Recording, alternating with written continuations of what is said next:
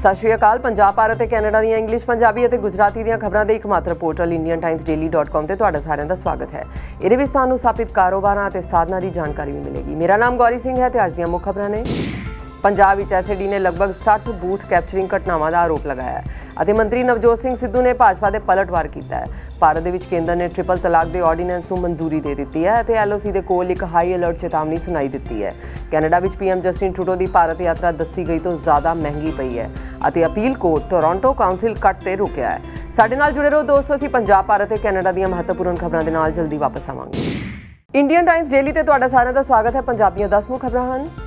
SD ਨੇ ਜ਼ਿਲ੍ਹਾ ਪਰਿਸ਼ਦ ਅਤੇ ਪੰਚਾਇਤ ਸਮਿਤੀ ਚੋਣਾਂ ਦੇ ਦੌਰਾਨ 60 ਤੋਂ ਵੱਧ ਬੂਥ ਕੈਪਚਰਿੰਗ ਦੀਆਂ ਘਟਨਾਵਾਂ ਦਾ ਆਰੋਪ ਲਗਾਇਆ। ਪਾਰਟੀ ਦੇ ਵਰਿਸ਼ਠ ਉਪ ਅਧਿਆਪਕ ਦਲਜੀਤ ਸਿੰਘ ਚੀਮਾ ਅਤੇ ਸਾਬਕਾ ਮੰਤਰੀ ਵਿਕਰਮ ਮਜੀਠੀਆ ਨੇ ਕਿਹਾ ਕਿ ਅਮਲਾਲਾ ਦੇ ਅਧਿਆਪਕ ਅਧਿਕਾਰੀ ਆਪੇ ਹੀ ਕਾਂਗਰਸ ਦੇ ਪੱਖ ਦੇ ਵਿੱਚ ਮੋਹਰ ਲੱਗੇ ਬੈਲਟ ਪੇਪਰ ਤੇ ਲੈ ਆਏ। ਮੰਤਰੀ ਨਵਜੋਤ ਸਿੰਘ ਸਿੱਧੂ ਨੇ ਭਾਜਪਾ ਦੇ ਨਿਸ਼ਾਨਾ ਲਗਾਉਂਦੇ ਹੋਏ ਕਿਹਾ ਕਿ ਪਾਕਿਸਤਾਨੀ ਆਰਮੀ ਚੀਫ ਦੇ ਨਾਲੋਂ ਸਿਰਫ ਗਲੇ ਮਿਲੇ ਸਨ, ਨਾ ਕਿ ਰਫੈਲ ਸੌਦਾ ਕੀਤਾ। ਸਿੱਧੂ ਨੇ ਰਫੈਲ ਫਾਈਟਰ ਜੈਟ ਸੌਦੇ ਦੇ ਲਈ ਕਰੋੜਾਂ ਦੇ ਘੋਟਾਲੇ ਤੇ ਭਾਜਪਾ ਤੇ ਹਮਲਾ ਕੀਤਾ।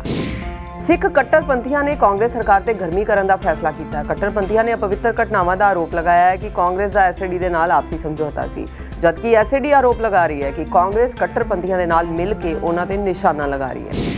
ਆਲ ਇੰਡੀਆ ਸਿੱਖ ਕਾਨਫਰੰਸ ਦੇ ਪ੍ਰਧਾਨ ਗੁਰਚਰਨ ਸਿੰਘ ਬੱਬਰ ਨੇ ਸੀਨੀਅਰ ਵਕੀਲ ਹਰਵਿੰਦਰ ਸਿੰਘ ਫੁਲਕਾ ਦੇ ਖਿਲਾਫ ਦਿੱਲੀ ਪੁਲਿਸ ਚੀਫ ਅਮੂਲਿਆ ਪਟਨਾਇਕ ਨੂੰ ਲਿਖਿਤ ਸ਼ਿਕਾਇਤ ਕੀਤੀ ਹੈ। ਬੱਬਰ ਨੇ ਫੁਲਕਾ ਤੇ ਸਿੱਖ ਵਿਰੋਧੀ ਦੰਗਿਆਂ ਦੇ ਸਿੱਖਾਂ ਦੇ ਨਾਲ ਧੋਖਾ ਕਰਨ ਦਾ ਦੋਸ਼ ਲਗਾਇਆ ਫੁਲਕਾ ਇੱਕ ਵਕੀਲ ਜੋ ਕਿ 1984 ਦੇ ਸਿੱਖ ਵਿਰੋਧੀ ਦੰਗਿਆਂ ਦੀਆਂ ਵਿਧਵਾਵਾਂ ਦਾ ਕੇਸ ਲੜ ਰਹੇ ਹਨ। ਪਾਰਾ ਸਰਹੱਦੀ ਪੱਟੀ ਦੇ ਲਈ ਇੱਕ ਖਾਸ ਰੇਡੀਓ ਸੇਵਾ ਸ਼ੁਰੂ ਕਰੇਗਾ। ਵਿਆਪਕ ਪੰਜਾਬੀ ਡਾਇਸਪੋਰਾ ਨੂੰ ਪਹੁੰਚਾਉਣ ਅਤੇ ਪੜੋਸੀ ਪਾਕਿਸਤਾਨ ਦੇ ਰੇਡੀਓ ਪ੍ਰਵੇਸ਼ ਦਾ ਮੁਕਾਬਲਾ ਕਰਨ ਦੇ ਲਈ ਇਹ ਫੈਸਲਾ ਕੀਤਾ ਗਿਆ ਹੈ। ਕੁਝ ਮਹੀਨੇ ਪਹਿਲਾਂ ਐਨਜੀਪੀਸੀ ਵੱਲੋਂ 523 ਕਰਮਚਾਰੀਆਂ ਨੂੰ ਨਿਸ਼ਕਾਸਿਤ ਕੀਤਾ ਗਿਆ ਸੀ। ਉਹਨਾਂ ਨੇ ਆਪਣੇ ਮੁੱਖ ਦਫ਼ਤਰ ਦੇ ਬਾਹਰ ਵਿਰੋਧ ਪ੍ਰਦਰਸ਼ਨ ਕੀਤਾ ਸੀ। ਕਰਮਚਾਰੀ ਆਪਣੀ ਬਹਾਲੀ ਦੀ ਮੰਗ ਕਰ ਰਹੇ ਹਨ। ਕੁਝ ਮਹੀਨੇ ਪਹਿਲਾਂ ਐਸਜੀਪੀਸੀ ਅਧਿਆਪਕ ਬਦਲਣ ਤੋਂ ਬਾਅਦ ਉਹਨਾਂ ਨੂੰ ਹਟਾ ਦਿੱਤਾ ਗਿਆ ਸੀ। ਇੱਕ ਗਿਰੋਹ ਦੇ ਪੰਜ ਲੋਕਾਂ ਨੂੰ ਪਿੰਡ ਵਾਲਿਆਂ ਦੀ ਮਦਦ ਦੇ ਨਾਲ ਫੜਿਆ ਗਿਆ, ਜਦੋਂ ਉਹਨਾਂ ਨੇ ਸ਼੍ਰੀਜਨ ਗਣਗਰ ਬੀਕਾਨੇਰ ਹਾਈਵੇ ਤੇ ਫੌਜ ਦੇ ਮਹਾਜਨ ਫਾਇਰਿੰਗ ਰੇਂਜ ਦੇ ਵਿੱਚ ਪ੍ਰਵੇਸ਼ ਕੀਤਾ। ਸਿਕਰ ਦੇ ਕੋਲ ਇੱਕ ਹੋਰ ਗੈਂਗਸਟਰ ਸੁੱਖਾ ਦੇ ਘਰ ਤੇ ਗੋਲੀਬਾਰੀ ਕਰਨ ਤੋਂ ਬਾਅਦ 13 ਸਤੰਬਰ ਨੂੰ ਗੈਂਗਸਟਰ ਭੱਜ ਗਏ ਸਨ। ਇੱਕ ਐਨਆਰਆਈ ਜਨਾਨੀ ਸਰਬਜੀਤ ਕੌਰ ਧਾਮੀ ਨੂੰ ਤੰਦੁਰਮਰ ਦੇ ਇੱਕ ਗਨ ਹਾਊਸ ਦੇ ਵਿੱਚ ਗੋਲੀ ਮਾਰ ਦਿੱਤੀ ਗਈ। ਪੁਲਿਸ ਨੇ ਗਨ ਹਾਊਸ ਦੇ ਮਾਲਕ ਸਰਬਜੀਤ ਸਿੰਘ ਦੇ ਪੁੱਤਰ ਅਮਨਪ੍ਰੀਤ ਸਿੰਘ ਦੇ ਖਿਲਾਫ ਕਤਲ ਦਾ ਮਾਮਲਾ ਦਰਜ ਕੀਤਾ ਹੈ। ਐਸਜੀਪੀਸੀ ਹਾਲ ਹੀ ਦੇ ਵਿੱਚ ਆਈ ਫਿਲਮ ਮਨਮਰਜ਼ੀਆਂ ਦੇ ਨਿਰਮਾਤਾਵਾਂ ਦੇ ਖਿਲਾਫ ਕਾਨੂੰਨੀ ਕਾਰਵਾਈ ਕਰੇਗੀ। ਇਸ ਦੇ ਇੱਕ ਸੀਨ ਤੇ ਆਪੱਤੀ ਚੁੱਕੀ ਗਈ ਹੈ, ਜਿਸ ਦੇ ਵਿੱਚ ਇੱਕ ਸਿੱਖ ਕੁੜੀ ਨੂੰ ਧੂਮਰਪਾਨ ਕਰਦੇ ਹੋਏ ਦਿਖਾਇਆ ਗਿਆ ਅਤੇ ਉਹ ਭੂਮਿਕਾ ਤਾਪਸੀ ਪੰਨੂ ਨੇ ਨਿਭਾਈ ਹੈ। ਪੰਜਾਬ ਦੇ ਕਾਰੀਗਰ ਨੂੰ ਯੂਨੀਅਨ ਮਿਨਿਸਟਰੀ ਆਫ ਟੈਕਸਟਾਈਲਸ ਵੱਲੋਂ ਸ਼ਿਲਪ ਗੁਰੂ ਪੁਰਸਕਾਰ ਮਿਲਿਆ ਹੈ। ਹੁਸ਼ਿਆਰਪੁਰ ਦੇ ਰੂਪਨ ਮਠਾਰੂ ਨੂੰ ਇਹ ਪੁਰਸਕਾਰ 2016 ਦੇ ਲਈ ਮਿਲਿਆ ਹੈ। ਰੂਪਨ ਦੇ ਬੇਟੇ ਕਰਮਜੀਤ ਨੂੰ ਵੀ national award for fine craftsmanship ਦਿੱਤਾ ਗਿਆ ਹੈ। ਸਾਡੇ ਨਾਲ ਜੁੜੇ ਰਹੋ ਦੋਸਤੋ, ਅਸੀਂ ਭਾਰਤ ਅਤੇ ਕੈਨੇਡਾ ਦੀਆਂ ਮਹੱਤਵਪੂਰਨ ਖਬਰਾਂ ਦੇ ਨਾਲ ਜਲਦੀ ਵਾਪਸ ਆਵਾਂਗੇ। ਇੰਡੀਅਨ ਟਾਈਮਸ ਡੇਲੀ ਤੇ ਤੁਹਾਡਾ ਸਾਰਿਆਂ ਦਾ ਸਵਾਗਤ ਹੈ। ਭਾਰਤ ਦੀਆਂ 10 ਮੁੱਖ ਖਬਰਾਂ ਹਨ। ਪੰਜ ਰਾਜਾਂ ਦੇ ਵਿਧਾਨ ਸਭਾ ਚੋਣਾਂ ਤੋਂ ਪਹਿਲਾਂ ਯੂਨੀਅਨ ਕੈਬਨਿਟ ਨੇ ਇੱਕ ਆਰਡੀਨੈਂਸ ਦੇ ਵਿੱਚ ਟ੍ਰਿਪਲ ਤਲਾਕ ਨੂੰ ਅਪਰਾਧ ਬਣਾਉਣ ਦੀ ਮਨਜ਼ੂਰੀ ਦੇ ਦਿੱਤੀ ਹੈ। ਸਰਕਾਰ ਨੇ ਕਿਹਾ ਕਿ ਐਸਾ ਕਰਨ ਦੇ ਲਈ ਜ਼ਰੂਰੀ ਲੋੜ ਅਤੇ ਤਤਕਾਲੀਨ ਸ਼ਕਤੀ ਦੀ ਲੋੜ ਸੀ। ਪਾਕਿਸਤਾਨੀ ਫੌਜੀਆਂ ਨੇ ਜੰਮੂ ਦੇ ਨੇੜੇ ਇੰਟਰਨੈਸ਼ਨਲ ਬਾਰਡਰ ਦੇ ਨਾਲ ਇੱਕ ਭਾਰਤੀ ਬੀਐਸਐਫ ਜਵਾਨ ਨੂੰ ਗਲੇ ਤੋਂ ਕੱਟ ਕੇ ਸੁੱਟਿਆ ਇਹ ਘਟਨਾ ਦੋਨਾਂ ਦੇਸ਼ਾਂ ਦੇ ਵਿੱਚ ਤਣਾਅ ਵਧਾ ਸਕਦੀ ਹੈ। ਇਸ ਦਰਿੰਦਗੀ ਦੀ ਘਟਨਾ ਨੇ ਸੁਰੱਖਿਆ ਬਲਾਂ ਨੂੰ ਹਾਈ ਅਲਰਟ ਜਾਰੀ ਕਰਨ ਦੇ ਲਈ ਮਜਬੂਰ ਕਰ ਦਿੱਤਾ ਬੀਐਸਐਫ ਨੇ ਪਾਕਿਸਤਾਨੀ ਰੇਂਜਰਸ ਦੇ ਖਿਲਾਫ ਸਖਤ ਸ਼ਿਕਾਇਤ ਦਰਜ ਕੀਤੀ ਹੈ। ਸਰਕਾਰ ਨੇ ਕਿਹਾ ਹੈ ਕਿ ਗੈਰ ਸੂਚਿਤ ਕਾਂਗਰਸ ਨੇਤਾਵਾਂ ਦੇ ਹੰਕਾਰ ਨੂੰ ਪੂਰਾ ਕਰਨ ਦੇ ਲਈ 36 ਰਫੇਲ ਸੈਨਾਨੀ ਜੈਟ ਸੌਦੇ ਦੇ ਵਿੱਚ ਜਾਣ ਦੇ ਲਈ ਸੰਯੁਕਤ ਸੰਸਦੀ ਸਮਿਤੀ ਜਾਂ ਫਿਰ ਸੀਏਜੀ ਦੀ ਜਾਂਚ ਕੀਤੀ ਜਾ ਸਕਦੀ ਹੈ। ਇਸ ਤੋਂ ਪਹਿਲਾਂ ਇੱਕ ਕਾਂਗਰਸ ਪ੍ਰਤੀਨਿਧੀ ਮੰਡਲ ਨੇ ਮੋਦੀ ਸਰਕਾਰ ਦੁਆਰਾ 36 ਰਫੇਲ ਲੜਾਕੂ ਵਿਮਾਨਾਂ ਦੀ ਖਰੀਦ ਦੇ ਵਿੱਚ ਤਤਕਾਲ ਜਾਂਚ ਦੀ ਮੰਗ ਕੀਤੀ ਸੀ। ਆਰਐਸਐਸ ਦੇ ਦਰਸ਼ਨ ਨੂੰ ਦੱਸਦੇ ਹੋਏ ਸੰਘ ਪ੍ਰਮੁੱਖ ਮੋਹਨ ਭਾਗਵਤ ਨੇ ਕਿਹਾ ਹੈ ਕਿ ਭਾਰਤ ਦੇ ਵਿੱਚ ਪਹਿਚਾਨ ਤੋਂ ਹਰ ਕੋਈ ਇੱਕ ਹਿੰਦੂ ਹੈ।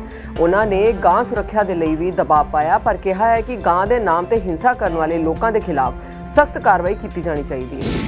ਕਾਂਗਰਸ ਪ੍ਰਧਾਨ ਰਾਹੁਲ ਗਾਂਧੀ ਨੇ ਪੱਛਮੀ ਦਿੱਲੀ ਦੇ ਵਿੱਚ ਸੀਵਰ ਵਰਕਰ ਦੀ ਦੁਖਦ ਮੌਤ ਤੇ ਪ੍ਰਧਾਨ ਮੰਤਰੀ ਨਰਿੰਦਰ ਮੋਦੀ ਤੇ ਹਮਲਾ ਕੀਤਾ ਹੈ। ਉਹਨਾਂ ਨੇ ਕਿਹਾ ਹੈ ਕਿ ਪ੍ਰਧਾਨ ਮੰਤਰੀ ਦਾ ਸਵੱਛ ਭਾਰਤ ਇੱਕ ਖੋਖਲਾ ਨਾਰਾ ਹੈ, ਜਦੋਂ ਹਜ਼ਾਰਾਂ ਮੈਨੂਅਲ ਸਕੈਵੈਂਜਰਸ ਦੀ ਦੁਰਦਸ਼ਾ ਦੇ ਲਈ ਅੰਨੇ ਸਨ। ਪਿਛਲੇ ਹਫ਼ਤੇ ਪੰਜ ਹੋਰ ਵਰਕਰਸ ਦੀ ਮੌਤ ਸੀਵਰੇਜ ਪਾਈਪ ਦੇ ਅੰਦਰ ਹੋਈ ਸੀ। ਭਾਰਤ ਨੇ ਅਫਗਾਨਿਸਤਾਨ ਦੇ ਨੇਤ੍ਰਿਤਵ ਵਾਲੇ ਅਫਗਾਨ ਲੈਡ ਅਫਗਾਨ ਓਨਡ ਅਤੇ ਅਫਗਾਨ ਕੰਟਰੋਲਡ ਸ਼ਾਂਤੀ ਅਤੇ ਸੁਲਹ ਪ੍ਰਕਿਰਿਆ ਦੇ ਲਈ ਅਫਗਾਨਿਸਤਾਨ ਸਰਕਾਰ ਦੇ ਪ੍ਰਯਾਸਾਂ ਦੇ ਪ੍ਰਤੀ ਆਪਣਾ ਵਾਅਦਾ ਅਤੇ ਸਮਰਥਨ ਦੁਹਰਾਇਆ ਹੈ। ਅਫਗਾਨਿਸਤਾਨ ਦੇ ਰਾਸ਼ਟਰਪਤੀ ਅਸ਼ਰਫ ਘਨੀ ਨੇ ਭਾਰਤ ਦੇ ਆਪਣੇ ਇੱਕ ਦਿਨ ਦੇ ਦੌਰੇ ਤੇ ਪ੍ਰਧਾਨ ਮੰਤਰੀ ਨਰਿੰਦਰ ਮੋਦੀ ਦੇ ਨਾਲ ਮੁਲਾਕਾਤ ਕੀਤੀ। ਸੁਪਰੀਮ ਕੋਰਟ ਨੇ ਅਸਮ ਦੇ ਐਨਆਰਸੀ ਦੇ ਡਰਾਫਟ ਦੇ ਵਿੱਚ ਲਗਭਗ 40 ਲੱਖ ਲੋਕਾਂ ਦੇ ਦਾਅਵਿਆਂ ਅਤੇ ਆਪੱਤੀਆਂ ਨੂੰ ਬਹਾਲ ਕਰਨ ਦਾ ਆਦੇਸ਼ ਦਿੱਤਾ ਹੈ। ਪ੍ਰਕਿਰਿਆ ਅਗਲੇ ਹਫ਼ਤੇ ਸ਼ੁਰੂ ਹੋਵੇਗੀ ਅਤੇ ਅਗਲੇ 60 ਦਿਨਾਂ ਦੇ ਲਈ ਖੁੱਲੀ ਰਹੇਗੀ। ਮੁੰਬਈ ਦੇ ਸੈਂਟਰਲ ਵਿੱਚ ਲਾਲਬਾਗ ਦੇ ਵਿੱਚ ਸਥਿਤ ਲਾਲਬਾਗ ਦਾ ਰਾਜਾ ਗਣੇਸ਼ ਪੰਡਾਲ ਸਭ ਤੋਂ ਅਮੀਰ ਗਣੇਸ਼ ਪੰਡਾਲ ਹੈ। ਇੱਕ ਡੂੰਘੇ ਸ਼ਰਧਾਲੂ ਨੇ ਇੱਕ ਸੋਨੇ ਦੀ ਭਗਵਾਨ ਗਣੇਸ਼ ਦੀ ਮੂਰਤੀ ਭੇਂਟ ਕੀਤੀ ਹੈ, ਜੋ ਕਿ ਲਗਭਗ 42 ਲੱਖ ਰੁਪਏ ਕੀਮਤ ਦੀ ਹੈ ਅਤੇ ਹੀਰਿਆਂ ਨਾਲ ਜੜੀ ਹੈ। ਭਾਰਤੀ ਗੇਂਦਬਾਜ਼ਾਂ ਨੇ ਪਾਕਿਸਤਾਨ ਨੂੰ ਆਪਣੇ ਦੂਸਰੇ ਏਸ਼ੀਆ ਕੱਪ ਦੇ ਮੈਚ ਦੇ ਵਿੱਚ 162 ਦੇ ਸਕੋਰ ਤੇ ਆਲ ਆਊਟ ਕਰ ਦਿੱਤਾ। ਪਹਿਲਾਂ ਬੱਲੇਬਾਜ਼ੀ ਕਰਨ ਦਾ ਫੈਸਲਾ ਕਰਦੇ ਹੋਏ ਪਾਕਿਸਤਾਨੀ ਬੱਲੇਬਾਜ਼ ਆਪਣੀ ਟੀਮ ਨੂੰ ਇੱਕ ਮਜ਼ਬੂਤ ਸ਼ੁਰੂਆਤ ਨਹੀਂ ਦੇ ਸਕੇ, ਕਿਉਂਕਿ ਭਾਰਤੀ ਤੇਜ਼ ਗੇਂਦਬਾਜ਼ ਭੁਵਨੇਸ਼ਵਰ ਕੁਮਾਰ ਨੇ ਉਹਨਾਂ ਦੇ ਸਲਾਮੀ ਬੱਲੇਬਾਜ਼ਾਂ ਇਮਾਮੁਲ ਹਕ ਅਤੇ ਫਖਾਰ ਜਾਮਨ ਨੂੰ 2-0 ਦੇ ਸਕੋਰ ਤੇ ਆਊਟ ਕਰਕੇ ਵਾਪਸ ਭੇਜ ਦਿੱਤਾ। ਅਕਸ਼ੇ ਕੁਮਾਰ ਜੋ ਕਿ ਹਾਊਸਫੁੱਲ 4 ਦੀ ਸ਼ੂਟਿੰਗ ਜੈਸਲਮੇਰ ਦੇ ਵਿੱਚ ਕਰ ਰਹੇ ਹਨ, ਉਹਨਾਂ ਨੇ ਆਪਣੀ ਪਤਨੀ ਟਵਿੰਕਲ ਖੰਨਾ ਦੀ ਨਵੀਂ ਕਿਤਾਬ ਦਾ ਜਸ਼ਨ ਮਨਾਉਣ ਦੀ ਪਾਰਟੀ ਦਿੱਤੀ।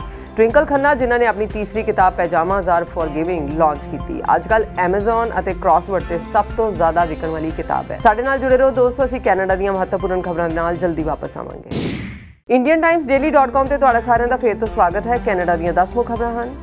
ਪੀਐਮ ਜਸਟਿਨ ਟਰੂਡੋ ਦੀ ਫਰਵਰੀ ਦੀ ਭਾਰਤ ਯਾਤਰਾ ਪਹਿਲਾਂ ਦੱਸੀ ਗਈ, ਨਾਲੋਂ ਵੱਧ ਮਹਿੰਗੀ ਸੀ। ਡਾਕੂਮੈਂਟਸ ਤੋਂ ਪਤਾ ਚੱਲਿਆ ਕਿ ਕੈਨੇਡਾ ਦੇ ਟੈਕਸ ਦੇਣ ਵਾਲਿਆਂ ਨੂੰ ਇਹ ਯਾਤਰਾ 1.66 ਮਿਲੀਅਨ ਡਾਲਰ ਦੀ ਪਈ। ਜੂਨ ਦੇ ਵਿੱਚ ਸਰਕਾਰ ਦੀ 1.5 ਮਿਲੀਅਨ ਦੇ ਨਾਲੋਂ ਲਗਭਗ 10% ਵੱਧ ontario ਦੀ ਅਪੀਲ ਕੋਰਟ ਨੇ ontario ਦੀ ਬੇਨਤੀ ਨੂੰ ਹੇਠਲੀ ਅਦਾਲਤ ਦੇ ਜੱਜ ਦੇ ਫੈਸਲੇ ਤੇ ਰੱਖਣ ਦੀ ਮਨਜ਼ੂਰੀ ਦਿੱਤੀ ਹੈ, ਜਿਸ ਨੇ ਟੋਰਾਂਟੋ ਸਿਟੀ ਕਾਉਂਸਲ ਦੇ ਆਕਾਰ ਨੂੰ ਘਟਾਉਣ ਦੇ ਲਈ ਕਾਨੂੰਨ ਪਾਸ ਕੀਤਾ ਸੀ। ਆਉਣ ਵਾਲੀ ਮਿਊਨਿਸਪਲ ਚੋਣਾਵਾਂ ਦੇ ਵਿੱਚ 47 ਦੀ ਬਜਾਏ 25 ਵਾਰਡ ਹੋਣਗੇ। ਅਲਬਰਟਾ ਕੈਬਨਿਟ ਮਿਨਿਸਟਰਸ ਨੇ ਵਿਰੋਧੀ ਧਿਰ ਦੇ ਨੇਤਾ ਜੋਨਸ ਕੈਨੀ ਦੀ ਭਾਰਤ ਯਾਤਰਾ ਤੇ ਸਵਾਲ ਚੁੱਕੇ ਹਨ। Economic development minister Darren Bilous ਨੇ ਕਿਹਾ ਕਿ ਦੌਰੇ ਨੇ ਚਿੰਤਾਵਾਂ ਨੂੰ ਉਠਾਇਆ ਹੈ ਕਿਉਂਕਿ ਉਹ ਇਹ ਨਹੀਂ ਜਾਣਦੇ ਕਿ ਕੈਨੀ ਆਪਣੇ ਆਪ ਨੂੰ ਕਿਸ ਤਰ੍ਹਾਂ ਪੇਸ਼ ਕਰ ਰਹੇ ਹਨ ਅਤੇ ਉਹਨਾਂ ਦੀ ਟ੍ਰੇਡ ਪਾਲਿਸੀਜ਼ ਕੀ ਹਨ। Foreign affairs minister Chrystia Freeland Canada ਨੂੰ ਇੱਕ ਨਵੇਂ ਨਾਫਟਾ ਟ੍ਰੇਡ ਪੈਕਟ ਤੋਂ ਬਾਹਰ ਰੱਖਣ ਵਾਲੇ ਵੰਡ ਨੂੰ ਠੀਕ ਕਰਨ ਦੇ ਤਰੀਕੇ ਦੀ ਤਲਾਸ਼ ਦੇ ਵਿੱਚ ਫੇਰ ਵਾਸ਼ਿੰਗਟਨ ਆਏ ਹਨ। House of Representatives majority whip Steve Scalise ਨੇ ਕੈਪੀਟਲ ਹਿੱਲ ਤੇ ਵੱਧਦੀ ਨਿਰਾਸ਼ਾ ਦੀ ਚੇਤਾਵਨੀ ਦਿੱਤੀ ਹੈ। ਟਰੂਡੋ ਸਰਕਾਰ ਨੇ ਵਿਧਾਨ ਸਭਾ ਦੇ ਲਈ ਫੈਡਰਲ ਚੁਣਾਵਾਂ ਦੇ ਦੌਰਾਨ ਨੇਤਾਵਾਂ ਦੀਆਂ ਬਹਿਸਾਂ ਨੂੰ ਵਿਵਸਥਿਤ ਕਰਨ ਦੇ ਲਈ ਇਸ ਦੇ ਵਿਜ਼ਨ ਦੀ ਇੱਕ ਝਲਕ ਪੇਸ਼ ਕੀਤੀ ਹੈ ਅਗਲੇ ਸਾਲ ਦੀਆਂ ਵੋਟਾਂ ਦੀ ਥਾਂ ਤੇ। Democratic institutions minister Karina Gould ਨੇ ਇੱਕ ਡਿਬੇਟ ਕਮਿਸ਼ਨਰ ਦੀ ਕ੍ਰੀਏਸ਼ਨ ਦੇ ਲਈ ਮਾਰਚ ਵਿੱਚ ਬੁਲਾਇਆ ਸੀ। ਇੱਕ ਟ੍ਰੇਨ ਸ਼ਨੀਵਾਰ ਨੂੰ ਨਾਰਥਰਨ ਮੈਨੀਟੋਬਾ ਦੇ ਵਿੱਚ ਪਟਰੀ ਤੋਂ ਉਤਰ ਗਈ ਅਤੇ ਹਾਦਸੇ ਦੇ ਵਿੱਚ ਇੱਕ ਰੇਲਵੇ ਆਫੀਸਰ ਦੀ ਮੌਤ ਹੋ ਗਈ ਅਤੇ ਮੈਟਿਸਟੋ ਨਦੀ ਦੇ ਵਿੱਚ ਡੀਜ਼ਲ ਲੀਕ ਕਰ ਰਿਹਾ ਹੈ। ਸੂਬੇ ਨੇ ਕਿਹਾ ਹੈ ਕਿ ਪੌਂਟਨ ਦੇ ਵੈਸਟ ਵਾਲੇ ਸਥਾਨ ਤੇ ਫਿਊਲ ਨੂੰ ਸਾਫ਼ ਕਰਨ ਦੇ ਲਈ ਸਪਿਲ ਰਿਕਵਰੀ ਇਕਵਿਪਮੈਂਟ ਦੀ ਵਰਤੋਂ ਕੀਤੀ ਜਾ ਰਹੀ ਹੈ। ਜ਼ਿਆਦਾਤਰ ਕੈਨੇਡੀਅਨਸ ਨੂੰ ਨੌਜਵਾਨਾਂ ਦੇ ਵਿੱਚ ਈ ਸਿਗਰਟਸ ਦੀ ਵਰਤੋਂ ਦੀ ਚਿੰਤਾ ਹੈ। ਲਗਭਗ 90% ਕੈਨੇਡੀਅਨ 18 ਸਾਲ ਤੋਂ ਘੱਟ ਉਮਰ ਦੇ ਨੌਜਵਾਨਾਂ ਦੇ ਲਈ ਵੇਪਿੰਗ ਪ੍ਰੋਡਕਟਸ ਦੇ ਬੈਨ ਦਾ ਸਮਰਥਨ ਕਰਦੇ ਹਨ। ਹਾਲਾਂਕਿ ਨੈਸ਼ਨਲ ਸਰਵੇ ਤੋਂ ਪਤਾ ਚੱਲਿਆ ਕਿ 18 ਤੋਂ 34 ਸਾਲਾਂ ਦੀ ਉਮਰ ਵਾਲੇ ਸਿਰਫ ਇੱਕ ਤਿਹਾਈ ਹੀ ਇਸ ਵਿਚਾਰ ਤੋਂ ਸਹਿਮਤੀ ਰੱਖਦੇ ਹਨ। ਕੈਨੇਡਾ ਫੋਰਨ ਟੈਲੀਕਮਿਊਨੀਕੇਸ਼ਨਸ ਕੰਪਨੀਆਂ ਵੱਲੋਂ ਬਣਾਏ ਗਏ ਸਾਜ਼ ਸਮਾਨ ਤੋਂ ਦੇਸ਼ ਦੇ ਵਿੱਚ ਸਾਈਬਰ ਥ੍ਰੈਟਸ ਨੂੰ ਘਟਾਉਣ ਦੇ ਲਈ ਨੈਸ਼ਨਲ ਸਿਕਿਉਰਿਟੀ ਕਰ ਰਿਹਾ ਹੈ। Public safety minister Ralph Goodale ਨੇ ਆਸਟ੍ਰੇਲੀਆ ਦੇ ਵਿੱਚ ਚੀਨ ਤੋਂ ਹੁਵੈਈ ਤੋਂ ਹੋ ਸਕਦੇ ਖਤਰਿਆਂ ਦੇ ਬਾਰੇ ਵਿੱਚ ਗੱਲਬਾਤ ਕੀਤੀ। ਕਾਮਨਸ ਐਥਿਕਸ ਕਮੇਟੀ ਕੈਨੇਡਾ ਦੇ ਕਨਫਲਿਕਟ ਉਹਦਾ ਇੰਟਰਸਟ ਅਤੇ ਲੌਬਿੰਗ ਕਾਨੂੰਨਾਂ ਦੀ ਸਮੀਖਿਆ ਤੇ ਵਿਚਾਰ ਕਰੇਗੀ ਕਿ ਇਹ ਗੱਲ ਲੌਬਿਸਿਸਟ ਦੇ ਲਿਬਰਲ ਫੰਡ ਰੇਜ਼ਰਸ ਦੇ ਵਿੱਚ ਭਾਗ ਲੈਣ ਤੋਂ ਬਾਅਦ ਸਾਹਮਣੇ ਆਈ। Lobbying Act House of Commons committee ਦੇ ਦੁਆਰਾ ਮੈਂਡੇਟਰੀ 5 ਸਾਲ ਦੀ ਸਮੀਖਿਆ ਦੇ ਲਈ ਓਵਰਡਿਊ ਹੈ। ਸਿੰਗਰ ਸੌਂਗਰਾਈਟਰ ਬ੍ਰਾਇਨ ਐਡਮਸ ਨੇ ਫੈਡਰਲ ਸਰਕਾਰ ਤੋਂ ਕਾਪੀਰਾਈਟ ਐਕਟ ਨੂੰ ਅਮੈਂਡ ਕਰਨ ਦੀ ਅਪੀਲ ਕੀਤੀ ਹੈ ਤਾਂ ਕਿ ਕਲਾਕਾਰ ਇੱਕ ਕੰਪਨੀ ਨੂੰ ਵੇਚਣ ਤੋਂ ਬਾਅਦ ਆਪਣੀ ਸਕ੍ਰਿਪਟ ਅਤੇ ਗਾਣੇ ਤੇ ਕੰਟਰੋਲ ਹਾਸਲ ਕਰਨ ਦੀ ਹੋਰ ਖਮਤਾ ਮਿਲ ਸਕੇ। ਅਨੁਭਵੀ ਘੁਮਾਵਦਾਰ ਰਾਈਟਸ ਦੀ ਸ਼ੁਰੂਆਤੀ ਵਿਕਰੀ ਦੇ 25 ਸਾਲਾਂ ਦੇ ਬਾਅਦ ਐਕਸਕਲੂਸਿਵ ਰਾਈਟਸ ਨੂੰ ਸੀਮਤ ਕਰਨ ਦੇ ਲਈ ਬੁਲਾਇਆ ਗਿਆ ਹੈ। ਇਸੇ ਦੇ ਨਾਲ ਸਾਡਾ ਨਿਊਜ਼ ਬੁਲੇਟਿਨ ਹੁਣ ਸਮਾਪਤ ਹੁੰਦਾ, ਪਰ ਤੁਸੀਂ ਇੰਡੀਅਨ ਟਾਈਮਸ ਡੇਲੀ ਤੇ ਲੌਗ ਰਹੋ, ਕਿਉਂਕਿ ਅੱਗੇ ਅਸੀਂ ਲੈ ਕੇ ਆ ਰਹੇ ਹਾਂ ਬਾਲੀਵੁੱਡ ਦੀਆਂ ਖਬਰਾਂ। ਇਹਦੇ ਇਲਾਵਾ ਹੁਣ ਇਸ ਪੋਰਟਲ ਦੇ ਅਕਾਊਂਟਿੰਗ ਫਰਮਸ ਤੋਂ ਲੈ ਕੇ ਵੈਡਿੰਗ ਪਲਾਨਰਸ ਤੱਕ ਸਾਰੇ ਕੈਨੇਡੀਅਨ ਬਿਜ਼ਨੈਸਿਸ ਐਂਡ ਰਿਸੋਰਸਸ ਨੂੰ ਲੱਭ ਸਕਦੇ ਹਨ। ਇੰਡੀਅਨ ਟਾਈਮਸ ਡੇਲੀ ਵਿੱਚ ਅਸੀਂ ਸਾਰੇ ਚਾਹੁੰਦੇ ਹਾਂ ਕਿ ਤੁਹਾਡਾ ਅੱਜ ਦਾ ਦਿਨ ਸ਼ੁਭ ਤੇ ਖੁਸ਼ਗਵਾਰ ਗੁਜ਼ਰੇ।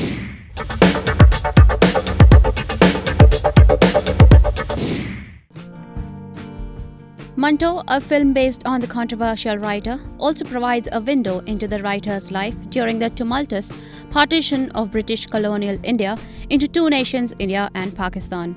Surprisingly, Nawazuddin Siddiqui, who is reprising the writer, reveals why exactly he charged just a rupee as his fee for the film. He said, जब मैंने मंटो के बारे में इन्होंने रिसर्च वर्क मंटो के बारे में बताया उनके ख्याल के बारे में उनके थॉट के बारे में मुझे बताया तो मुझे लगा कि यार इसके जो थॉट हैं, ये तो बिल्कुल मेरे जैसे हैं। बहुत ही मैं भी वही सोचता हूँ, लेकिन हमारे हमारे पास वो करेज नहीं है कि हम वो वो शेयर कर सकें लोगों के सामने बट उनके अंदर थे। तो मुझे लगा कि अपने ख्याल को पेश करने के लिए या अपने ख्याल को शेयर करने के लिए मुझे उसकी फ़ीस लेनी पड़े तो मेरे मेरे लिए इससे बड़े गिल्ट की बात कुछ हो नहीं सकती एक्चुअली तो मैंने इनसे एक रुपया बोला कि मैं चूँकि प्रोफेशनल एक्टर हूँ तो मुझे एक रुपया दो तो वो भी एक्चुअली एक रुपया इन्होंने दिया नहीं है अभी भी ये मेरे कर्जदार है मैं कहीं चौराहे पे खड़ा होकर इनको बोल सकता हूँ कि ये ये मेरी कर्जदार है Munter, who died in 1955 at the age of 43, penned an impressive body of work touching various genres. His work also gained attention for weaving stories around the ordeal of partition, freedom of expression, as well as sexuality. It also got him in trouble as he was charged with obscenity six times for his short stories, three times in India before 1947 and three times in Pakistan after 1947. Nawazuddin says the story of Manto is very much relevant today. Robert Bacho, who was busy with his album One, says that he dropped everything to do a song for Arjun Kapoor's film. Bacho said in a statement, Arjun wanted a song with me and I dropped everything to make it happen. I was deep into making my album when I began working on Bhare Bazaar with Rishi Rich. We had a blast on the set. Bacha had told INS, I had a lot of songs and I wanted all of them to be heard by people. There are very few love songs, sad songs, songs about my life, primarily about different emotions. The song Bhare Bazaar from Arjun's forthcoming film Namaste England released on Tuesday and will force you to dance on its beats. The movie is slated to release on October 19, 2018.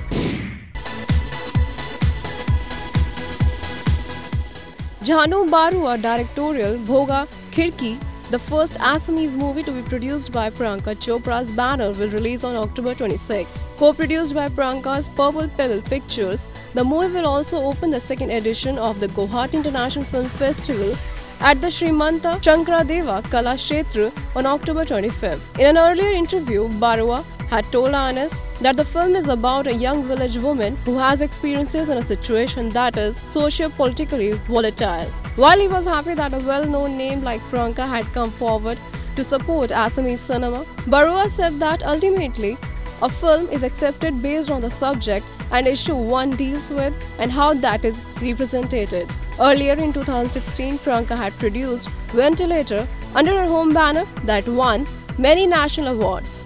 A comedy drama won awards in categories like Best Director, Best Editing, and Best Sound Mixing.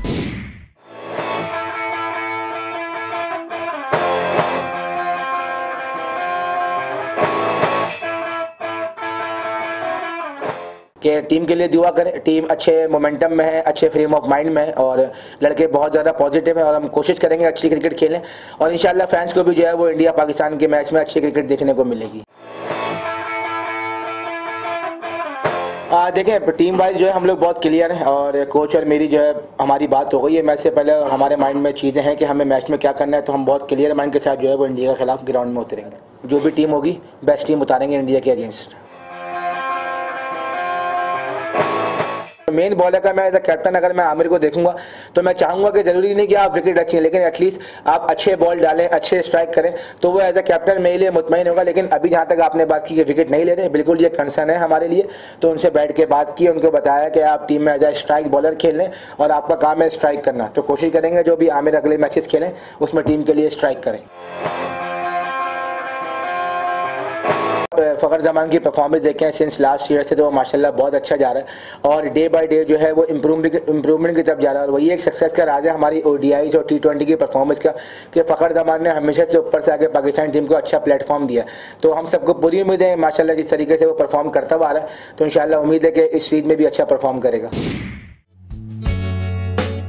Actress Shilpa Shetty made her Bollywood debut with Shah Rukh Khan's star Bazigar in 1993. After featuring in many films, the Dharkan actress then judged reality shows on small screen. She is now associated with digital series Hear Me, Love Me. Now, at the press conference of the said series, Shilpa spoke about her relationship with husband Raj Kundra. She said, uh, my husband and I have been married. We're going to celebrate our ninth year this so year. The dating carries on. Yeah, the dating really carries on. And um, um, I think that's what keeps a relationship going, and you know that's that's where the fun lies. But on a serious note, I mean, uh, I read this really. It's not actually serious, but really cool line where um, they said, you know, blind dating has a lot of similarities with people going to casinos and the result is pretty much the same. You always think that you're going to end up with a jackpot, but you you always end up broke and sitting in a bar. Challenging the notion of love at first sight, the reality series Hear Me Love Me brings to life a virtual blind dating experience that combines technology and human interaction in a new format. Shilpa dons the mantle of a relationship guide and confidant as she helps contestants navigate through the moors of romance in today's digital age. Produced by Fremantle India, Hear Me Love Me, a 10 episode series is set to launch on September 28.